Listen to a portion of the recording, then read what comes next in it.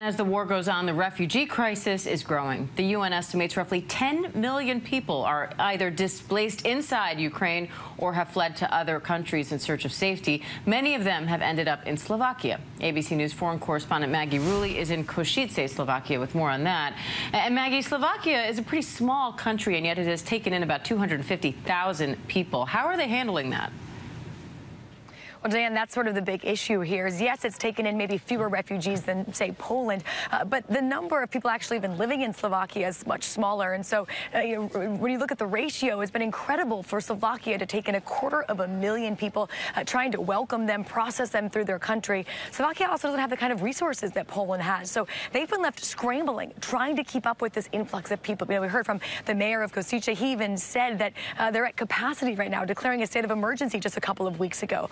But Diane, that's when they really started investing in this crisis. You see all these tents behind me. This is sort of a hotspot area. So refugees coming off the border are sent to a place like this. One tent, you know, we can see the signs. One tent's for food, one tent's for toiletries, one tent's for pets. Uh, just a few moments ago, there were kids playing behind me that had games and toys and resources. Uh, so it's really been all hands on deck. And it's incredible to witness, Diane, just the speed with which this country came together. Again, a small country with limited resources came together so quickly to help help their neighbor.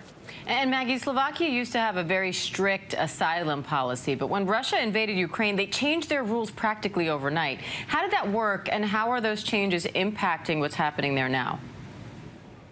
Well, that's what's been incredible. I mean, traditionally, Slovakia isn't somewhere that a lot of refugees came from uh, because of that very strict asylum policy. But yeah, once the invasion happened, practically overnight, they changed that rule. You know, we were just in, inside the arena here that's been turned uh, into this amazing system where there's tons of computers set up. Any Ukrainian that crosses that border, even without paperwork, uh, can apply for this temporary refuge status where they're given things like health care. They can uh, help find a job. Their kids can go to school. So people are really being well welcomed with open arms. And what's interesting, Diane, is to see how this plays out going forward. You know, right now the numbers have slowed down coming into Slovakia. They're still seeing thousands every day, but it's very orderly. But we've been told that there's actually tens of thousands of people waiting just on the other side of the border to see what happens in this war. And as this war uh, keeps moving further and further west, we're expecting more people to cross into Slovakia. Now they have these, these hotspots set up. They have the infrastructure in place for temporary refugee status. Uh, it'll be interesting to see how they keep up with more and more people.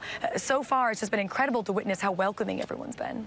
And Maggie, I know you've talked to some of these refugees. Are there any stories that really stick out to you?